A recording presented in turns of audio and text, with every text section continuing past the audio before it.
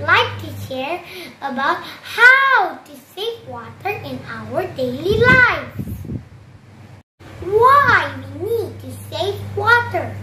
Do you know that only 0.025% of water can be consumed by humans? This is why we need to save water so everyone can get enough water.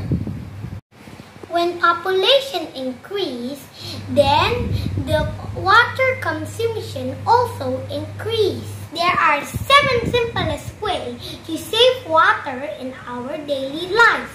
First, make sure that your water taps are completely turned off. Many people forget to turn off their water taps, so lots of water being wasted. Second, don't use toilet as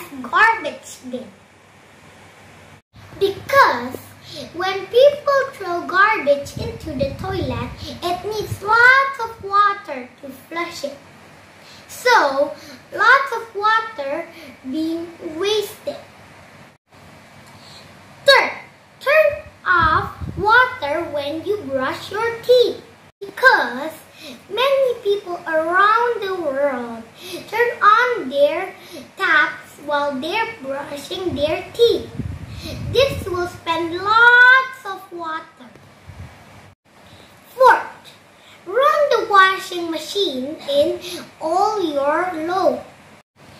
Because if we use if we do that, it will save more energy and water. Reuse the water for the vegetables to water the plants. This is called zero waste system. Zero waste system means that we use the water again and again so we can reduce and reuse it. Six. Rainwater can be harvested and water your garden. You can store rainwater to water your garden. This means that you will use less water. You can store rainwater to water your garden. This means that you will use less water. And last, have a bucket and a mug instead using a shower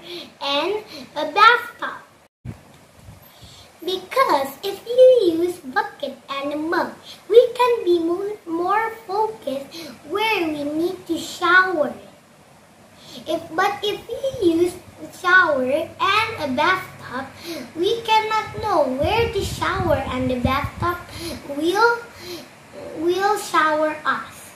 So, bucket and the mug use less water. Thank you, that is all my advice.